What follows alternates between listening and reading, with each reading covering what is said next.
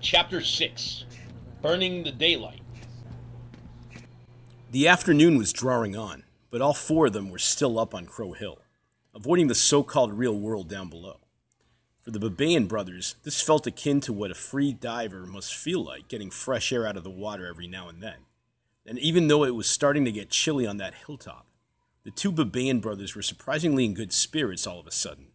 The wine and extra food they brought might have helped, but Chili Sue rubbed her face and frowned. Yes, alien slip space weapons, Mike insisted.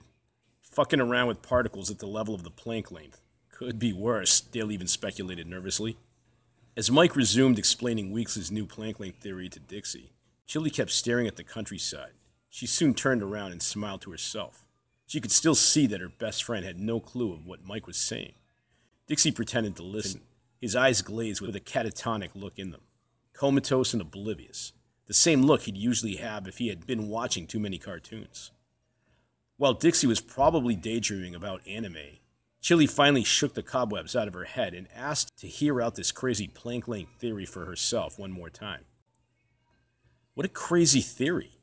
Yet, despite the condescending tone in Mike's voice whenever she'd ask for clarifications, Chili at least appreciated that this crackpot idea seemed to fill more gaping holes than anything else explaining the spook activity all over town.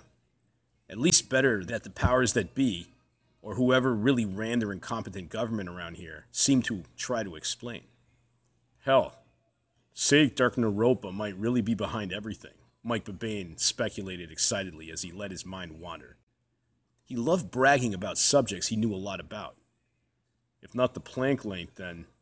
Oh, come on, said Dale. Just hear me out, said his brother. Maybe that explains everything, really. Maybe there's a connection. Maybe it's that simple. Even the prophetic ability you got in your own head. He motioned towards Dixie. As if to reinforce his point, the timing to the increased UFO sightings did appear to be growing around the planet. I kind of like the new spank length theory better, said Chili. Help me out, though. Planck length, Mike corrected her. New Planck length theory. You want to hear it one more time? It's hard to understand, she confessed. Too happy to oblige, Mike went on to explain again how the Planck length in space time all over the universe worked, and how there were really only three theories that made the most sense to what was going on. Spook sightings and Dixie's dreams, then, Chili said after a moment. So let me see if I get it. The Planck length, you say, the smallest. She fumbled for words. The edges of the universe, Mike corrected her. The smallest units frontiering a vast unknown. At the edges of the smallest subatomic particles existing in physical time and space, where neither math nor instruments were able to explore anything smaller that's existing in those dimensions at that level. Yes, that, said Dixie as he snapped out of his little daydreaming coma and he tried hard to articulate what he was considering in his head, but nothing happened. It's the more paranormal frontier beyond what exists smaller than subatomic particles we know of, and beyond strings in theory, Mike repeated. The point is, if this vast void existing between the physics of each subatomic particle is actually getting larger, then perhaps it would allow for more spooky stuff to exist if those patches are getting bigger, see? Seeing how something exists everywhere in subatomic space that's not part of the universe does that make sense? Not, Not fully, fully, Dixie and Chili declared together. It sounds interesting, but my brain's fried, Chili admitted with some frustration. She wished Natalie or her pothead neighbor was around. Dale looked at his brother and then at Dixie. I thought you were a science nut, he said to Dixie. no, more like a poser, Dixie grudgingly admitted defeatedly. If it's on TV and it's entertaining, and I can watch it a hundred times, my point is, maybe your psychic ability is just one of the perks of this happening, said Mike. Damn, I still don't get how, Dixie confessed. Please humor me one more time. But after so many attempts to explain Planck theory to his science illiterate friends, Mike finally threw up his hands. The point is, he said to them, my cousin's research team thinks that when Planck length is by account stretching, something weird happens to everything before it rights itself. How do they know all this? Chili wondered. Conjecture.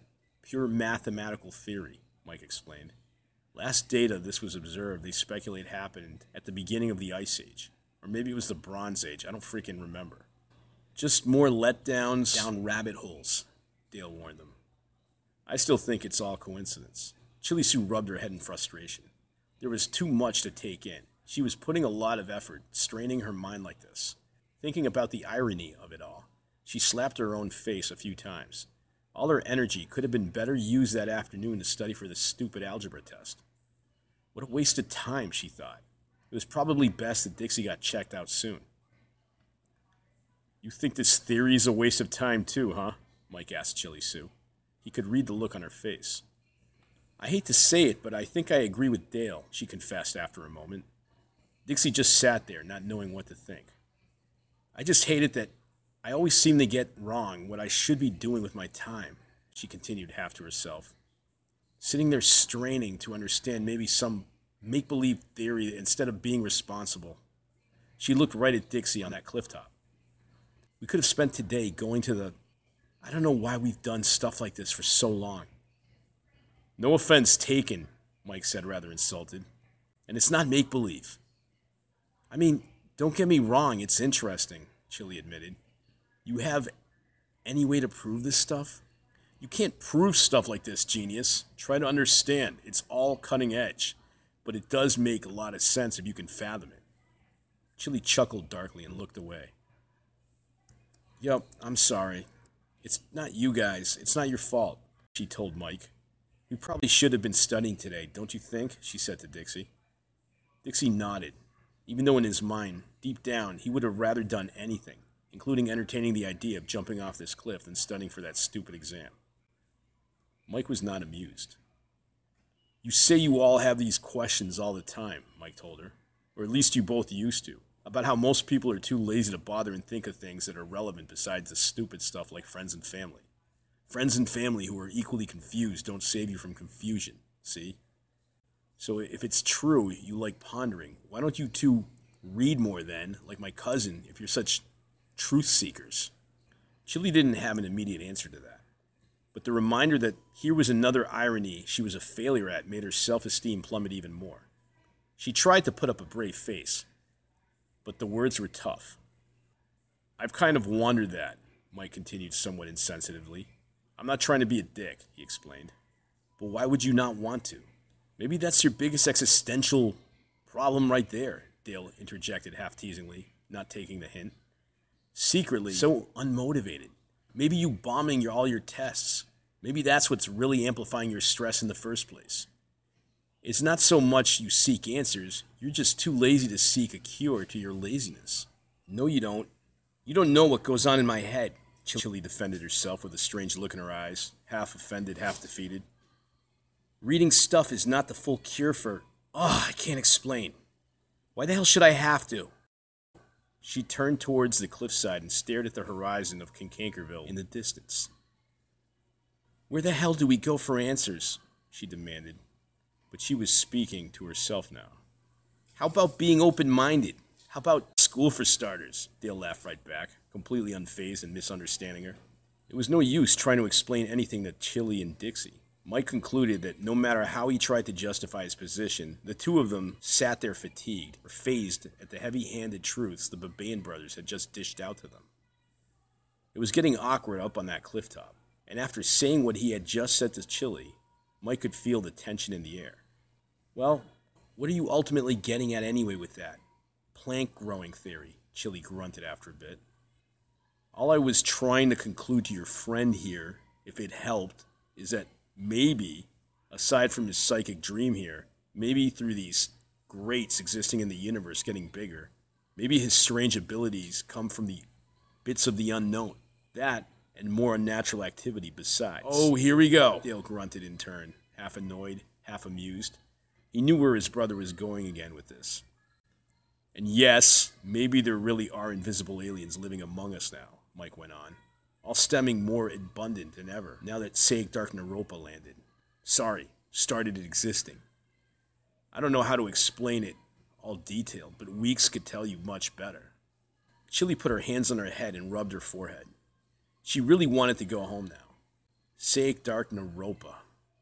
The most warped asinine and poorly counter-defended conspiracy theory of them all. A few elections ago, a strange cloud phenomenon, a dust storm, had clouded much of southwestern Russia and the Middle East. The storm never left, and then the government set up direct energy lasers defense around this area. And everything in there, all knowledge within it and communication passing into it, disappeared like an event horizon. And then all the weird stuff especially started happening around on the planet. Weirder than the second flood. It was a nice anomaly to think about, or stupid, depending on her mood. But right now, she had too many other things on her plate. Career prospects are tough, Mike teased her as he guessed what her problem was. Imagine all these things happening for real if they're true. And on top of that, bombing your courses at the same time, he added as his brother laughed. Times are interesting. Interesting anywhere but here, mused Dixie, meaning King Cankerbill. Including here, said Mike. It's either what I said or something coming up from there, he added, pointing towards the north. I think we really do live near a paranormal gold mine. I know the district always ignores it, but I can't think of a better way to explain what's going on. You said it yourself, Chili. When the conspiracy theories start to make more rational sense in the evening news, we've got a problem. You've always felt something's going on behind the scenes. Mike straightened up and looked at her. Look, I'm sorry if I touched a nerve, he told her. I don't even know what would that what that would be, but I feel like I have to walk on eggshells now. Chili Sue just muttered something inaudible to herself.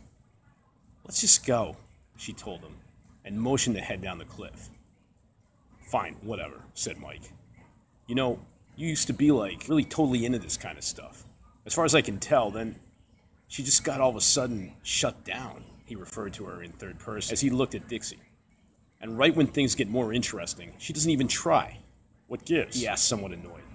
Dixie did not reply, but grimaced and kept staring at the countryside as he reached back on his left elbow. Do you really care? Or are you just trying to ask stuff to mock me? Chili replied rather brusquely. Or did you have a real question? Something intelligent? Mike looked at his brother and laughed. She's so emo now. It's like she doesn't even try, just plays the victim. Geez, leave her alone, dickhead, said Dixie. Chili put her hands under her armpits, and as she stared at the ground, she temporarily radiated an anguished look she couldn't conceal. Poor Chili. Dixie could sense what she was thinking. So awkward. Acting so awkward that it even made the Babayan brothers more uncomfortable. But they finally let her be and continued to debate to each other about Mike's conspiracy theories as they all walked back to the car. The car ride home wasn't any less awkward, as the Babayan brothers continued to talk about strange stuff like the anomaly of Sake Dark Naropa and other geopolitics. Chili remained silent behind the wheel with Dixie in the passenger seat, still holding the loose glove compartment with his knees. For 15 minutes, these two remained silent, overhearing all sorts of strange notions about the weather that Mike was bringing up in the back seat. Soon Mike brought up the urban legends regarding the desolate wastelands of Anakaland up north. If you accept Weeks' multidimensional theory with all the nuclear bomb testing, Mike proposed, maybe we really have done damage to these so called realms where these beings come from as much as we've done here. Dale had to laugh. it's so insane you actually believe that. Just because Weeks uses high level jargon? Well, why not? said Mike. It only makes sense. Seismic waves of some sort must have permeated into their hyperdimensional atmosphere. Blah, blah, blah, blah. Soon a pointless argument broke out in the back seat. After a while, Chili finally broke her silence. It's like something's in the air, she privately confessed to Dixie. Listen to them. All the bad news, even these two dorks seem on edge, more than normal. Dixie nodded, but had nothing to say. I'm sorry. I know there's a lot on your plate, and I probably haven't been helping either, she went on. I've been negative myself, but with all the confusion around, we shouldn't let ourselves get this on edge. We're bigger than that. Suddenly, like a bad omen, a funeral procession cut in front of them. Six minutes went by, and then after that, they ran into two one way construction detours on the way back, taking the Afernerney Highway to avoid further congestion. They did great until they slammed into another traffic jam on that highway. Apparently, the sudden descent of fog in the area was creating quite the bottleneck. It almost felt like they were in a bad cartoon. I still stand by my word, Chili told Dixie, defiantly as the traffic cleared and the Babayan brothers continued to argue in the back. Dixie looked at the trees passing by them and scoffed to himself. Yeah, thanks, Chili. Hey, he had a legitimate excuse to feel on edge. Aside from potentially needing to see a doctor and his car, job, and academic problems, the fog reminded him of a thought that Chili had recently planted in his head. What if what you feel you're good at in life is insignificant to everyone else? What then? How do you feel? This day keeps getting better and better, Dixie muttered to himself. And as if on cue, Dale's heavy handed diatribe in the back seat could be heard louder now that they had rolled the back windows up. Boring realms, they call it. Boring's relative, I agree. Dixie could hear Dale. I'll at least agree with that. Especially for you two, huh? He laughed teasingly to Dixie and Chili. Boring should seem perfectly fine to you, seeing how you contribute to the boredom. You haven't said a word since we left Crow Hill. Well, how about shut up unless you have something intelligent to say? Chili called right back. You haven't said anything interesting since you got in the car. Not worth getting involved in your dumb debates. Hey, when's that test again? Dale asked her. He then gave them a playful rant about how screwed they were. So unmotivated. Dixie, by the way, sorry about the car, Mike broke in. Fixing it is cheaper than getting a brand new one. But you may want to figure out soon how you're going to get that thing inspected at the end of the month. I noticed, too, that the rust stains are worse. And blah, blah, blah. Dixie rubbed his face in anguish as Mike tried to give him crappy advice on what to do. What a shitty week to be alive, Dale laughed nervously. Ignoring them, Dixie and Chili kept staring at the passing streets of King Kinkankerville while Mike, hating their awkward silence, kept talking passive aggressive smack to his brother about how unpleasant victimized people were. After Chili finally dropped off the Babayan brothers, she breathed a sigh of relief. Creeping shit, she told Dixie. I just wanted to relax, but everything's gone opposite. She looked at her friend, slumped down on the passenger seat, shoulders bent, double chin due to fatigue. I can't imagine this helped you, she told him. I'm sorry. When they hit the spoiled sport, Chili kept apologizing that the trip had been rather useless. It was my idea, she repeated. I think. But her word fell silent. What? You think what? Dixie insisted. Nothing, said Chili. She had just sipped a smoothie that appeared to have temporarily revived her spirits. Although she insisted it was dumb for them to not stay positive in general, Dixie knew she was full of it. Listen, he told her. I know it's more inspiring to be upbeat, but there's no life behind it, he chortled rather grimly. The next couple days are going to suck, and I'd rather know what you're really thinking. No, you don't, Chili replied. Oh, come on, I'm not a wuss. I can handle it. I think actually Mike might be right. About the increase in haunted activity? No. She took a deep breath. This may not be the best time to say it, but about how we're full of shit. She took another deep breath and sighed while she let her tea carelessly spill all over the table while she rocked it. Sooner or later, we're going to have to accept reality. Reality? asked Dixie. Yeah, she grunted. It doesn't even matter to what happened to me, or you for that matter. It doesn't even matter what I believe, and how maybe one of us, or any fool that thinks like us somewhere out there may be right. We're going to have to accept that our parents understand the game and knew what they were talking about. We might as well plunge into it now, sooner than later.